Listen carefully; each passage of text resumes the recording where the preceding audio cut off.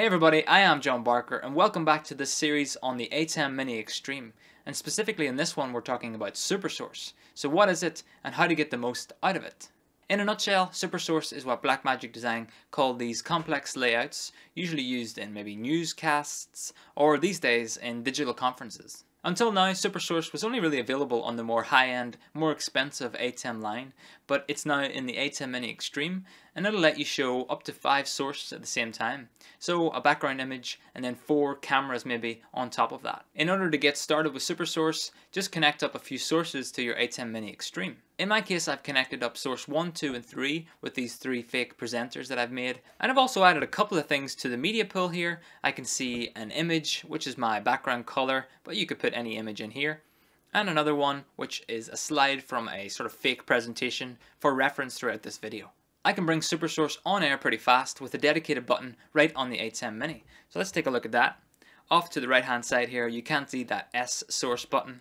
I'll bring it on preview and then I'll cut to bring it on air. Here on the ATEM Mini Extreme program output, you can see the default SuperSource layout that I had, which is three presenters and my presentation there to the bottom right. And just like anything else in my production, I can cut between my individual sources here. You can see that happening on the program out.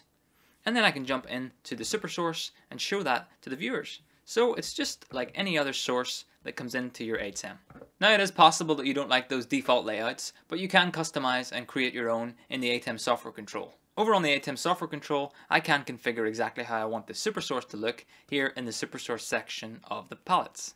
As mentioned before, you do get a few layouts that were pre-configured by Blackmagic Design, but below that, you're able to make a change to each box. So in the box control, I have access to each of the four boxes that I can bring on air. Box 1, 2, 3, and 4.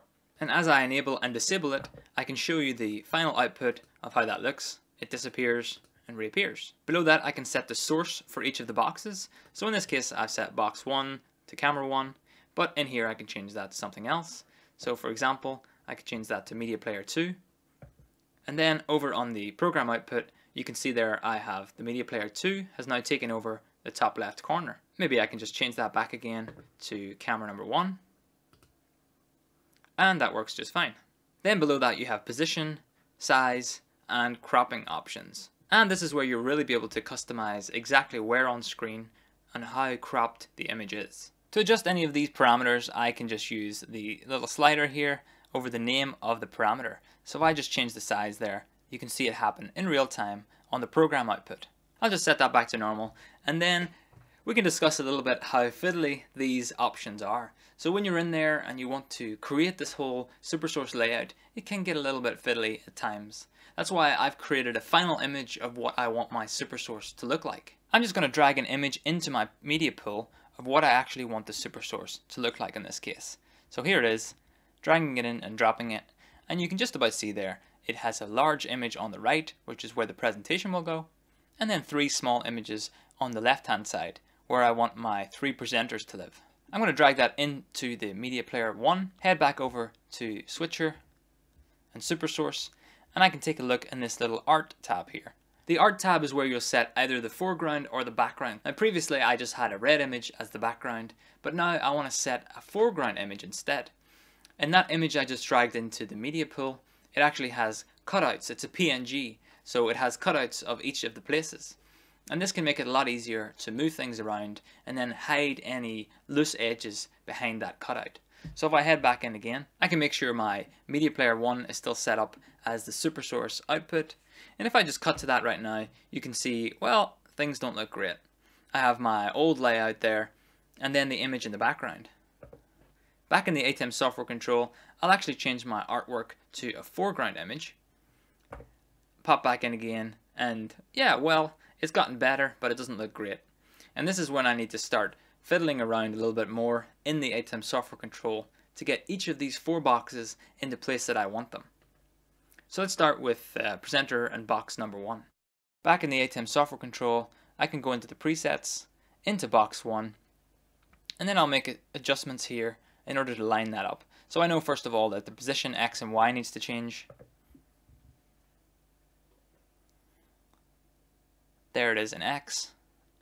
And then I can actually change the size as well, just to pull it down into position. The small little dials in the ATEM software control makes this uh, some work to do. I wouldn't want to have to do this live. It's definitely something you want to set up in advance and then jump in and make the changes.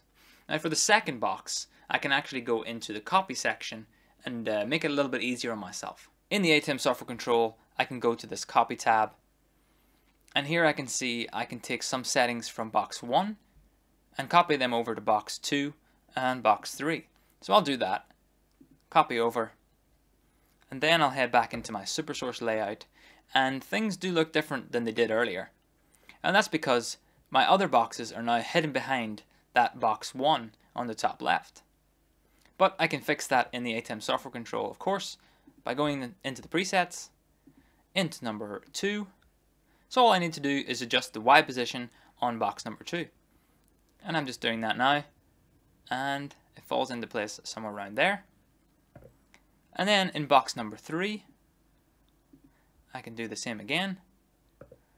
Taking a look at my program output to see where it lands. And in this case, box number 3 is actually my ATEM software control, but you can get the gist of that. Finally, heading back in one more time to the ATEM software control, because I want to adjust box number 4, which is the media player, and I know my size needs to be adjusted a little bit, so I'll do that. And my X and Y need to be adjusted too. And here's my final look with all three presenters roughly in the right place, giving their presentation, with that over to the right. It looks really nice, and something you definitely couldn't do on the previous ATEM Mini models. Yes, I know what you're thinking, this whole thing took a lot longer than you would think, and it's very fiddly with all those little dials. And I was thinking that too, and that's why I created the SuperSource Builder, and you can find a link to that below this video. You can hop over there and create layouts in a more, I would think, intuitive way, and then download the macros and bring those into your ATEM Mini Extreme. This project is pretty much in its early days, but I have more features planned on the way, so jump in there, give it a go and download some macros to see how well it works. And if you want to support the project, I've also made available a pack of all these sorts of layouts, so you can jump in there and grab those instead, or start from those and build upon them. Give it a go. A nice way to enhance the super source is instead of using an image in the background or the foreground, you could use a looping animation instead. Now, the ATEM Mini Extreme doesn't allow for that animation to be brought in via the media pool, but of course with those 8 HDMI inputs, you can add a looping animation out of maybe a Raspberry Pi or a computer you have nearby. I've connected another input to my ATEM Mini Extreme, and it's this looping image of some stars appearing throughout the presentation.